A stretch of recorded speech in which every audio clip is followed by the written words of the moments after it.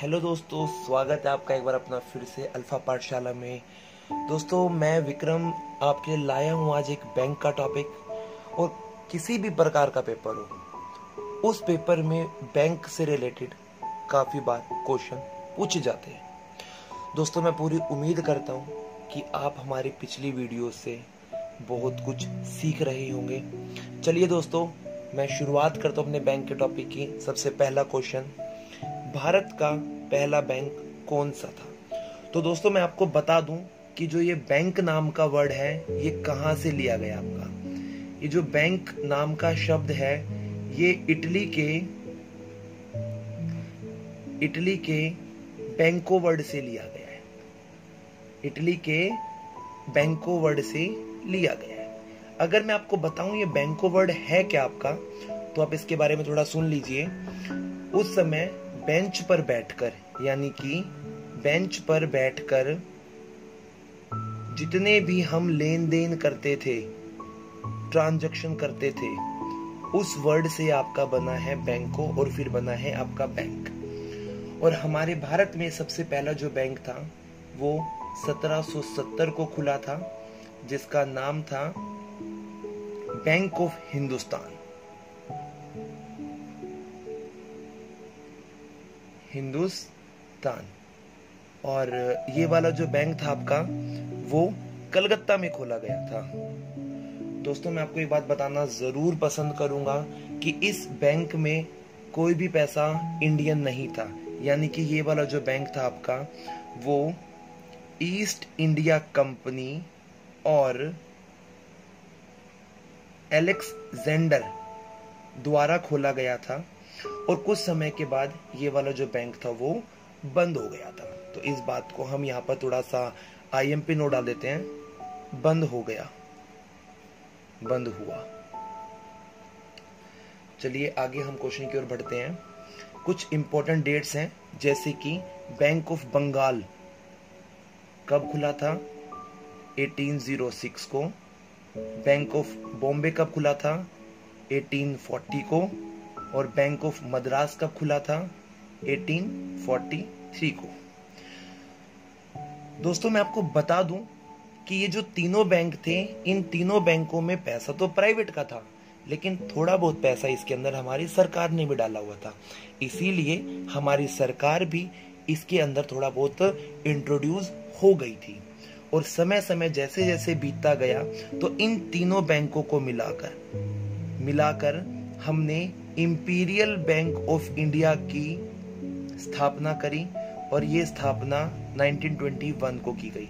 मैं आपको बता दूँ, ये वाला क्वेश्चन बहुत ज़्यादा इंपॉर्टेंट है कि इंपीरियल बैंक ऑफ़ इंडिया की स्थापना कब हुई।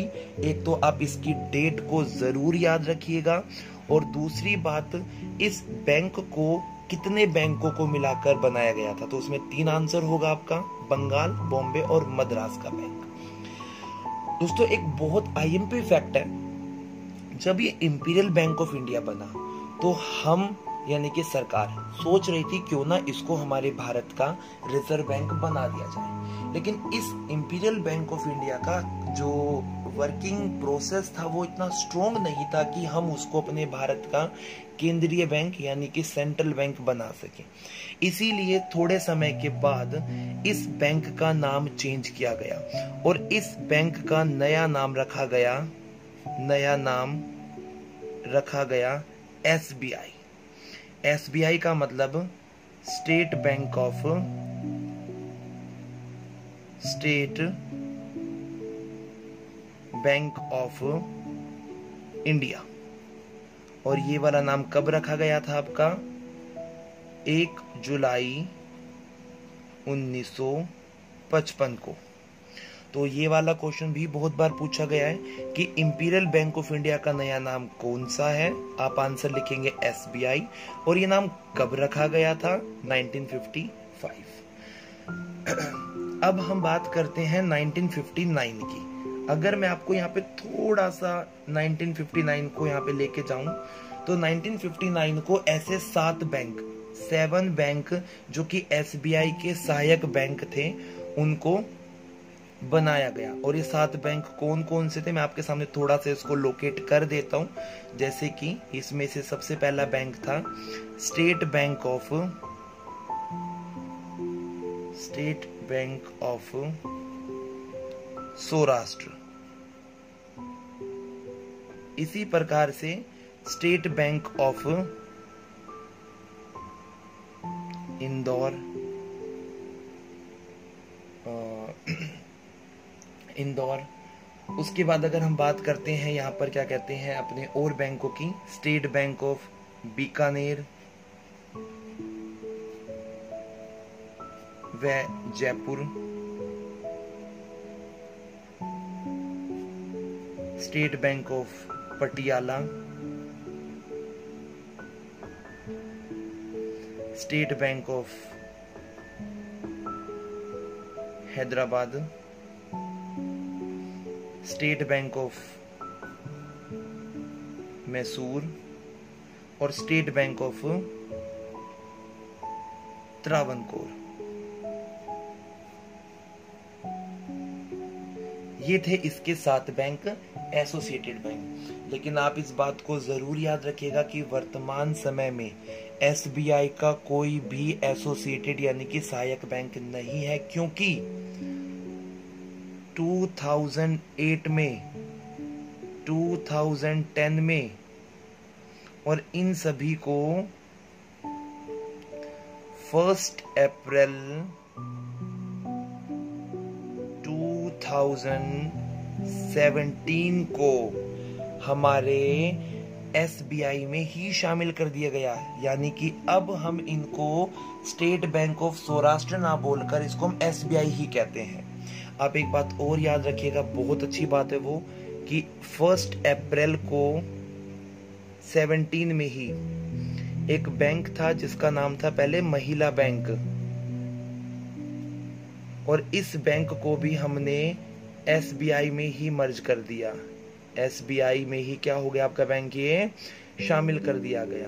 दोस्तों, कुछ बातें जो आपको एसबीआई के बारे में याद रखनी है, जैसे कि एसबीआई का हेडक्वार्टर, ये आपका पड़ेगा मुंबई में। इसी प्रकार से एसबीआई के अध्यक्ष कौन है? आप कुछ याद रखें या ना रखें, लेकिन इस एसबीआई के अध्यक्ष को ज़रूर याद रखिएगा। अध्यक्ष, यानी कि चेयरपर्सन, जिसका नाम है रजनीश कुमार। काफ़ी पेपर में पूछा गया नाम। अब एसबीआई के बारे में टीचर इतने क्वेश्चन क्यों पूछता है? इसकी वजह बस यही है क्योंकि एसबीआई हमारे आरबीआई का सबसे ज़्यादा सहायक कह सकते हो एजेंट बैंक माना जाता है आपका। चलिए अगले क्वेश्चन की तरफ़ मूव ऑन करते हैं हम। एसबीआई की डिजिटल बैंकिंग सेवा मोबाइल ऐप कौन सी है या क्या है? तो इसका नाम है योनो। जो ये यूनो नामक मोबाइल ऐप है, इसकी फुल फॉर्म बनेगी। यू ओनली नीड वन यानी कि आप इस मोबाइल ऐप के द्वारा अपने एसबीआई की जितनी भी डिजिटल लेन देन है, वो आप इजिली कर सकते हो। चलिए हम अगले क्वेश्चन की तरफ़ मूव ऑन करते हैं। पूर्णतया भारतीय पूंजी, यानी कि कैपिटल से कौन सा बैंक शुरू हुआ? दोस्तों, आप इस चीज़ को ज़रूर अच्छे से सीखिएगा, क्योंकि पीएनबी पंजाब नेशनल बैंक, एकमात्र ऐसा प्रथम बैंक था जिसके अंदर 100 परसेंट पैसा किसका था? हमारे इंडिया का पैसा था। तो इसके जो संस्थापक, यानी कि इसके जो फाउंडर हैं, उनका नाम है लाला लाजपत राय। और एक व्यक्ति और इसका नाम है ओयाल सिंह। ओयाल सिंह। और मैं आपको बता दूँ, इसकी जो स्थापना थी, वो मई 1894 को लाहौर में की गई थी। और इसका जो नेशनलाइजेशन है, वो बहुत इंपॉर्टेंट है, क्योंकि इसका सिंगल बैंक का नेशनलाइजेशन नहीं किया गया था। 19 जुलाई 1969 को 14 बैंक्स का नेशनलाइजेशन किया गया था और इन 14 बैंक में से एक बैंक कौन सा था भाई आपका? ये पीएनबी बैंक भी उसी में शामिल था। इसका जो क्या कहते हैं हेडक्वार्टर है, वो अभी कहाँ पर है आपका इसका? दिल्ली में। इसका हेडक्वार्टर कहाँ पर है? दिल्ली। और इसके जो वर्तमान के एमडी और सीईओ है, उनका नाम है सुनील मेहता जी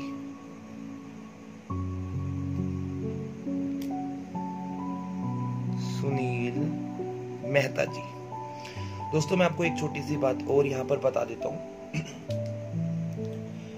जो हमारा पीएनबी बैंक है, इसके सबसे पहले जो एमडी या सीईओ बने थे, उनका नाम था ओयाल सिंह। तो आप इसके फ़र्स्ट चेयरपर्सन को भी याद रखिएगा और वर्तमान को भी याद रखिएगा। चलिए अगले क्वेश्चन की तरफ़ मूव ऑन करते हैं।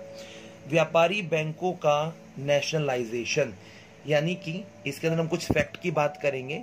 जैसे कि 19 जुलाई 1969 को टोटल 14 बैंकों का नेशनलाइजेशन हुआ, जिनके पास में 50 करोड़ से ज़्यादा क्या थी? कैपिटल थी, पूंजी थी। बिल्कुल इसी प्रकार से अप्रैल 1980 को छह बैंक इसमें शामिल किए गए। जिनके पास कितना पैसा था 200 करोड़ से ज़्यादा क्या था, उनके पास पैसा शामिल था। तो ये टोटल वैल्यू कितनी हो गई इसकी? 20 तो इसमें से एक बैंक 1993 में, इस बात को मैं थोड़ा सा नोट डाल के लिखूँगा। 1993 में New Bank of India New Bank of India जो कि पहले इन 20 में शामिल था, वो इससे हटा दिया गया और उसको किसमें शामिल कर दिया गया? उसको पीएनबी में मर्ज कर दिया गया। अगर हम आगे बात करते हैं तो दोस्तों, यहाँ पे एक आपकी बात लास्ट ये बनती है कि वर्तमान समय में आपके व्यापारिक बैंक कितने हैं? तो आप इसका आंसर 20 ना लिखकर कितना लिखेंगे आप इसका आंसर? इसमें से आपने एक माइनस किया और आंसर आपको रिसीव हुआ यहाँ पे 19 बैंक। आप इस संख्या को ज़रूर याद रखिएगा। ये वाली बात बहुत बार पूछी जाती है। अगली बात। हमारे भारत में कुल सार्वजनिक बैंक कितने हैं? तो इसका आंसर होगा आपका 21 इसका आंसर लिखेंगे आप 21 जिसमें से 19 तो कौन से बैंक हैं? ये वाले। एक इसके अंदर शामिल है आपका एसबीआई और एक इसी के अंदर शामिल है भाई आपका आईडीबीआई आप आईडीबीआई की फुल फॉर्म लिख लीजिए। मैं बोल देता हूँ। Industrial Development Bank of India और ये जो बैंक है आपका इसकी स्थापना 1964 को हुई थी और इसका जो हेडक्वार्टर है वो मुंबई के अंदर है। हाँ अगर आपसे कोई इसके एमडी पूछे तो आप इसका आंसर लिखेंगे महेश कुमार। महेश कुमार जैन। किसके, की पर्सन है? आईडीबीआई के। तो दोस्तों पब्लिक बैंक हमारे वो बैंक होते हैं जिसमें 51 परसेंट पैसा तो गवर्नमेंट का होता है, बाकी प्राइवेट सेक्टर का होता है। अगर इसी को मैं अपोजिट कर दूँ, यानी कि जिसमें 51 परसेंट पैसा तो किसका हो? प्राइवेट का और बाकी पैसा किसका हो? गवर्नमेंट का। तो उसे हम कहते हैं प्राइवेट बैंक तो वर्तमान समय के अंदर हमारे भारत में कितने प्राइवेट बैंक हैं? इसका आंसर लिख देते हैं हम 35 ये जो वैल्यू है, ये समय समय पे बदलती रहती है, इसलिए ज़्यादातर पेपर में नहीं पूछी जाती है। लेकिन जो ये वाला आंसर है, वो बहुत कम बदलता है, इसलिए आप इसको ज़रूर याद रखिएगा। तो थैंक यू दोस्तों। आज के लिए इतना ही कंटेंट अगर आप हमें कोई भी सजेशन देना चाहते हैं तो कमेंट बॉक्स में ज़रूर लिखिएगा। दोस्तों, आपके लिए एक मैं क्वेश्चन छोड़ के जाता हूँ। आप मुझे वो कमेंट बॉक्स में ज़रूर बताइएगा। क्या हमारे भारत में कभी दस हज़ार रुपए का नोट भी छपा है? अगर हाँ तो कब छपा है? आप इस बात का आंसर मुझे कमेंट बॉक्स में दें। शुक्रिया दोस्तों।